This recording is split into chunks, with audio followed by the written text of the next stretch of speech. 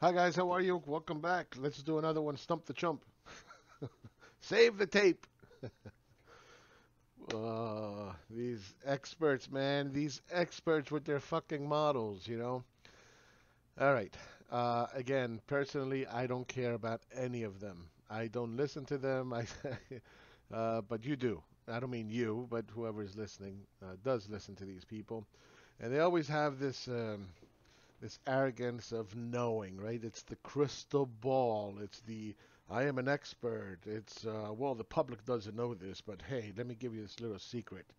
Uh, it's the mental game. You know, it's I'm tougher than you are. Um, you know, all these crazy people. And when I when I spot bullshit uh, and I can see it, then you know I'm going to expose it. Not so much to expose them. I don't care about them. It's to expose them to you, so you know how to analyze what they are saying a lot better. Now, having said that, just because they are wrong is not the problem. Fuck, I'm wrong all the time. Every, there's no way that anybody can for, forecast the future. The problem is is that they pretend that they can forecast the future. That's the problem. You you understand that they have the crystal ball, that they they have the the insight that you little people don't have, and they're going to come out and make these predictions, shotgun predictions, like Peter Schiff, right? Just keep throwing shit up against the wall, see what sticks, and then just run with the with the ones that do stick, and forget about all the other ones. Now Logan here never ever saw COVID coming. Problem one. Problem two, he never saw the economic depression that was coming. Not once. In fact, I have a copy paste somewhere, I don't know where, where he's tweeting like, "Hey, I just opened up my front door and I'm looking out and hey, everything looks normal to me." Ha ha ha ha ha ha ha ha. Right? He was making fun of COVID, in fact. Not only he didn't see it, but he was making fun of it. Now, I am not a real estate guy. I am not an expert in real estate. I don't sell real estate. I don't sell mortgages. I don't do any of that stuff. Um, he does. So he is the expert. He is the one that's going to give you the insight, at least that when it comes to real estate, he should know what he's talking about, at least more than me. But that's not the case, is it? And you're going to hear that now. All right. This is this interview was conducted back on April 9th, 2021. So let's listen to what he's got to say. Interview. You've been writing um, about the mortgage market meltdown. Where are we right now? How did we get here? What's going on? Well, we're kind of. Okay, sorry, I pushed the wrong pause. Let me go back a little bit. The mortgage crisis meltdown. The mortgage market meltdown mortgage market, uh, there was no meltdown. There was no meltdown. But he was writing about it, and of course, this guy, this guy's job is to, you know, bait, uh, clickbait, and to perform, you know, uh, entertainment for everybody. But there was no meltdown. Where are we right now? How did we get here? What's going on? Well, we're kind of still in the chaotic stage right now. Um, Leave it there. That's it. That's that's the interview. Shut it off. Thank you very much. Goodbye. That's right. We are in the chaotic stage right now. That's it. That's the the only insight that you can possibly fucking provide. That's it. That's that's all you're capable of, of, of accurately saying to the people. We don't know. That's it. Walk away. But that's not what he does. So listen to the rest of the interview. You know, when March 9th came in and the 10 year yield got down to about 32 basis points and mortgage rates fell with it, uh, the first thing that came to my mind is uh, early payoff uh, uh risk, which means that uh, refinances would accelerate. It would cost the industry a lot of money because, you know, if you're providing a good example is if you're giving $10,000 to give somebody an interest rate, you need to keep that loan on the books for at least 18 months to, to break even or make money. And basically, all the loans in 2019 and even 2020 were at risk of having an early payoff. And that Okay, early payoff. Um, do you want to see what the great financial crisis looked like? By that by that logic, okay, as interest rates were collapsing, on the 10 year. Uh, from 2008 to 2010, that should have been the same um, the same problem. It should have been uh, chaotic for the banking. It's over. It's done. Game over. But that wasn't the case, was it? Do you know why that's not the case? Let me explain to you why that's not the case. Because of this. This is why. You see, banks, they they pay interest on two years or less, okay, and make loans on 10 years or more. When this happened, the risk of, oh, we're going to pay out early, blah, blah, blah, blah, blah, all this stuff, it goes out the window because this is the profit margin right here. That's the higher this is, the more profit you're making. He should have been saying that back here when the 10 and the 2s were inverted. That's when the problem was, not now. Not now. Not when the when the Fed pumped in all this all, all this this money. Okay? And this this occurred this occurred on February 24th.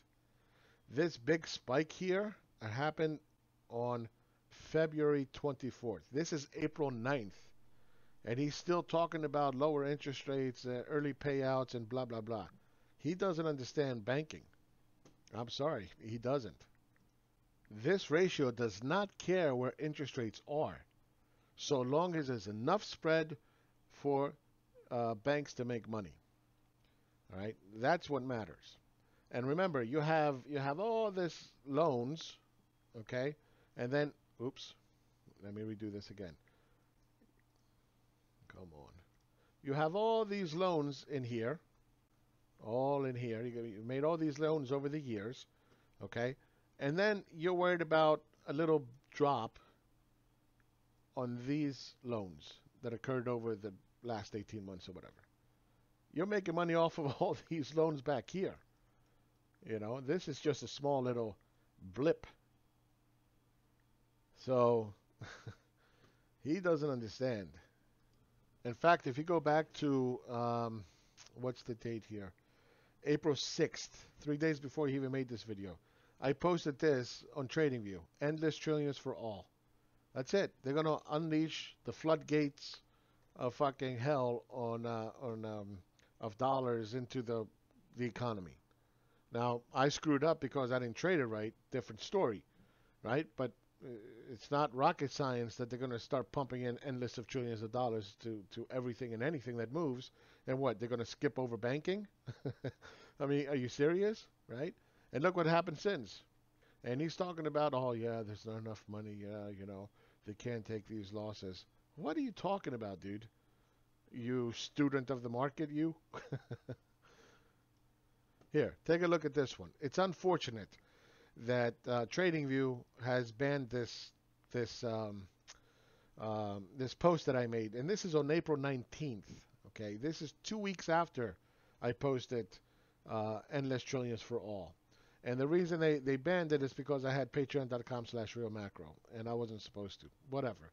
It's a shame because people should be able to see this because it was a great call at the time. And it was a follow up to the initial endless trillions for all, which was which was this one back here. Okay? Uh, and this one was on April 2nd when, when I posted this. Uh, and then, you know, subsequently you can see that, you know, it popped up dramatically. Um, but again, what he didn't know it. Well, if he didn't know that, if he didn't know that the government was going to come in and start pumping in endless of trillions of dollars to everybody, then he's got no business talking about macroeconomics uh, and the economy as a whole. Okay, he's got no business, and yet he does. He does. The the Fed came and asked him how his model works. Uh, you know, he's on Bloomberg and he's giving stupid analysis to everybody. These are all cute storytellers. That's all they do is run around, uh, sell a story that ever, whatever everybody believes at the time, and that's it. And then he says, "Yeah, America is great in 1776, rah rah rah, and everything is wonderful." But that's that's not an analysis. That's a cute story, and it frustrates the hell out of me when I see people like this getting, you know, all all this uh, followings and whatever, uh, and and people don't understand that this guy is he's clueless. Right? He's clueless. He's a perma bull because the market goes from the bottom left to the top right, so therefore it'll continue to do that, and therefore whatever I say, I'm going to end up looking right. That's all he's doing. He certainly doesn't understand macroeconomics, the monetary system, banking. I don't even think he understands uh, real estate. I just think he's a great storyteller. Anyway, let's continue. You know, as a financial burden, then you know the the mortgage rates were moving so much that you had margin call risk, and these are things that aren't really familiar to the general public. So you had two. Oh, you know, yeah, this stuff. It's not familiar to the general public. It's inside information that hey, I'm just kind of like letting you know that there's margin call. Well, no fucking shit. uh, oh wow, that's that's just so insightful. Really insightful. Let me show you something about credit. Look at credit. Look at credit in 2008 all the way to 2000 and um, what is it? 11 to the bottom, 10, almost 11. Right? Why wasn't there margin call then? This little bleep here is going to be the margin call? Please. Well, the public doesn't know that, but hey, I'll kind of share that with you, big guy. Ugh. Cringy stuff, cringy stuff. Two Hits right now on the mortgage side of the equation. And then, as always, whenever a recession is here, and as March 12th, you can see that was the last day we had good uh, jobless claims data. So, March 12th was the last day we had uh, good uh, jobless claim data. Okay, let's go through this one one more time. The U.S. entered a recession in February. Okay, his little six-point model had to wait all the way to March to start showing that hey, you know, maybe the unemployment data is not that good. Yeah, because we entered a recession in February, pre-COVID, pre-COVID, not post, pre. All right. so if you're waiting a month later to say, hey, we're in recession, too late. Done. The market had already tanked by March 6th. Okay, and then just kept on going. So uh, again, no, he'll tell you, well, you know, I don't, I'm not talking about stocks, but he'll every time the stock market goes up, he'll be the first one to see, look at the stock market is going up. See, I told you, ha ha ha ha. And then when it goes against them, well, I'm not talking, I'm not talking about the economy. Yeah, the economy was screwed on February, not March, April, and May.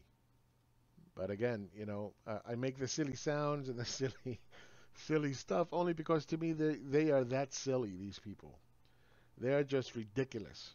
But you know, people are like, oh my god, you know, Logan knows what he's talking about. He's an expert. He doesn't even know his fucking ass from his elbow. Credit tightens up as well. So you're getting hit on multiple sides. And just to add another layer, the fourth one is that the servicers are going to be at risk because of the forbearance. You know, the forbearance was open to the to the public in general, and they don't really have enough capital to uh, to take that money that much uh, uh, um, payment that they have to give to the bondholders on top of that. So you have four significant factors all coming into the mortgage market in a matter of weeks, and this is why we see this credit stress. This is why mortgage rates went up. Uh, you know, that first week of March 9th, you know, rates actually went up 1% uh, that entire those five days. So there's just a lot of stress right now in the mortgage market, and some of these things are going to be with us uh, even if the economy recovers in Q4 and people go out and you know uh, can walk the earth again. I still think the the, the credit tightening is going to be here for a while. Yeah. How wrong was he? Wow, how wrong was he? Even in Q4. how wrong was he? Credit tightening? my ass. Nope, supply is falling. So it doesn't matter what um, uh, what credit does, right? Because first of all, the government is going to come in and it's going to pump it up, right? And then look at the supply. Where was the supply when all this hit? Right? Barely five months, barely. Then you got a spike, and then a drop, and then this is where we are now. Where are prices? all-time highs, right? What happened to all the credit stress? It hasn't even hit. It's not even close. Wait, wait till uh, supply starts to spike up, uh, interest rates start to spike up, uh, and home prices start falling. Then we're going to start talking about credit stress. But who who in their right mind is going to go out in a in a period of uncertainty uh, and start to uh, to sell homes, right? You got to be a little crazy. Uh, yeah, fuck it, I'm, I'm selling my home. No, the only reason this happened is because they didn't have a choice. That's why this happened here. Was anybody in uh, 2000 running out and uh, selling homes? No. In fact, back then, the average uh, supply of homes were about four per, uh, four million. I'm sorry, four months. Four million. Four months. Okay, exactly where we are now. This was just a real estate crisis that ended up, you know, dumping supply into the into the economy. You go back into the um, into the 80s, and yeah, there was a lot of supply because interest rates were so high to go buy a home, right? That's when the great credit expansion started. And interest rates were freaking, you know, like 18%. Yeah, good luck, you know, renting a, I'm sorry, uh, getting a mortgage like that.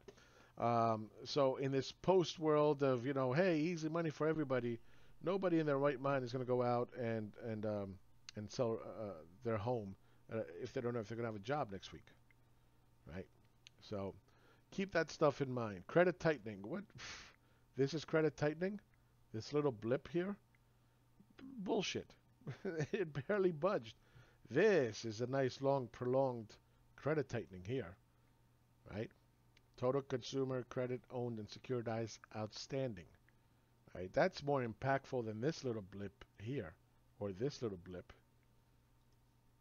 Again, I don't mind that he's wrong. That's there's nothing based on whatever he was seeing at the time. Okay, this is what I see. You know, I'm wrong. Whatever. Okay, fine. That's no problem with being wrong. But when you come out and you start playing this, well, you know, the general public doesn't know this. And, uh, you know, America's great, and I'll tell you about economics and all this stuff, and, and start making predictions uh, based on uh, certainty, right? Then, and, and you claim you're an expert, then, then there's a problem with that. I got a big problem with that. And that's why I always say likely to happen. This is the direction it's heading. This is because I, I don't know. And believe me, nobody knows. It's not possible to know. Nobody has a crystal ball. That's why models don't work. You look at this stupid uh, America is Back Economic Model Update Part 3, and this was in August uh, 15th, right? Takes a picture of him, uh, uh, go, goes out, and he's like, hey, honey, can you please take a picture? I'll be on the podium, and it, it can look like I'm talking to somebody. America is back. For America to be back, first you have to say America was gone, and he never saw America, you know, gone. he just kept going, hey, America is great, you know, COVID, don't worry about it. I'm looking outside my door, everything looks normal, everything is great.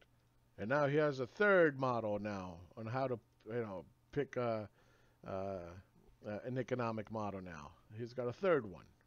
Yeah, everybody has a fucking economic model after the fact. After the fact, everybody has a model. Everybody's an expert.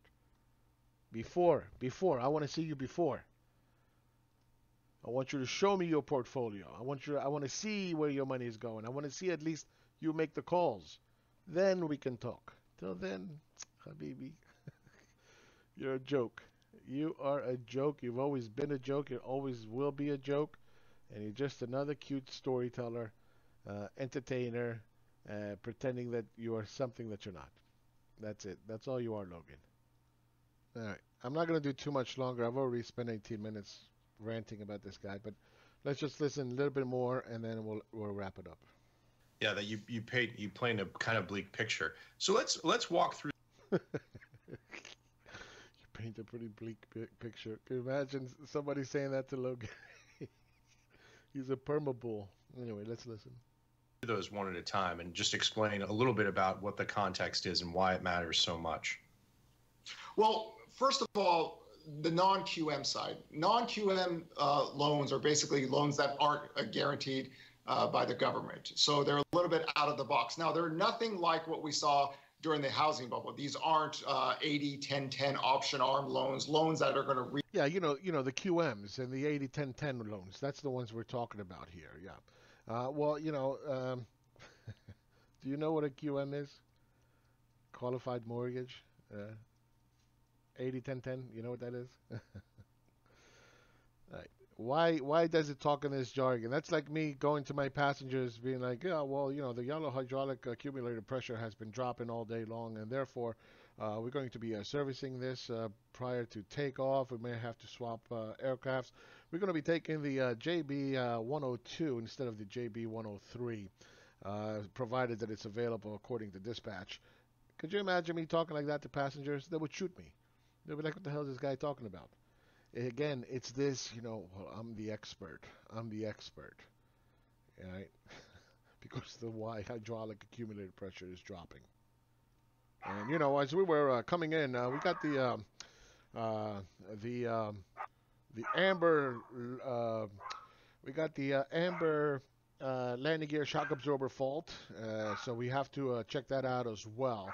And that's why I think we're going to the JB 102 possibly. So, my God. Cast on you and create a, for, a foreclosure. Uh, these are just a little bit out of the box in terms of bank statement loans. Those kind of things, especially in the jumbo market, are gone for the most part. It's very little. I think that market gets hit. Uh, FHA lending, which you know below 620, which isn't that big either. Uh, the credit standards have. Uh, These are such small percentages of overall mortgages. Why is he even talking about it? Who cares if they got hit? Who cares? Nobody cares. Right? Nobody cares about these things. But again, it's him. And look at me, I'm an expert. You know, let's talk about QM and the 80-10-10 and the FHA. And they're gone now. They're finished. You know, it's small, but you know they're finished. Well, if they're small, don't talk about them. It's insignificant. Doesn't matter. Anyway, that that's it for this video. I, I, I can't honestly. This this goes on for 52 minutes. I would be here for days, uh, just making fun of them. Don't listen to these people, man. Seriously, don't listen to these people. Uh, I don't know what to tell you. Just don't listen to them. It's a year later, flat out wrong on everything. Not the problem that he's wrong. The problem is that he pretends he's the expert and he can forecast the future, and he can't. Uh, it's that simple. Nobody can. It's impossible. So anybody who's sitting here telling you, well, this is how it is, don't listen to him. All right. Take care, guys. Have a good day. Bye-bye.